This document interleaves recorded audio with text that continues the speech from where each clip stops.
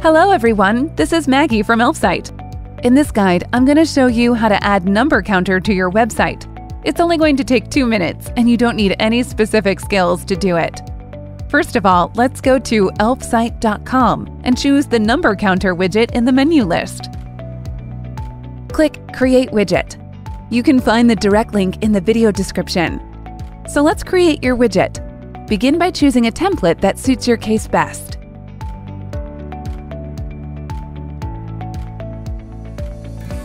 Click Continue with this template. To create your counter, add and customize the fields you need on the Content tab. Adjust the elements arrangement and behavior on the Layout tab. The Settings and Style tabs are where you can change your widget design, colors, animation speed, and font size. That's it! Your widget is ready! Also, you can check other settings to adjust layout, size, colors, and fonts. Click Join to install to add the widget to your website. Log in or sign up to Elfsight apps. This is free, no credit card required.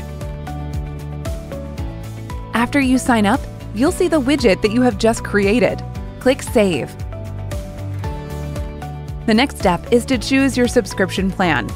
You're very welcome to start with Lite, but keep in mind that your 20% discount is valid only for 24 hours. Click the code to copy it and go to your website's admin panel.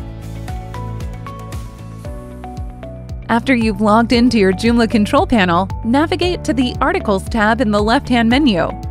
Choose the required page in the list.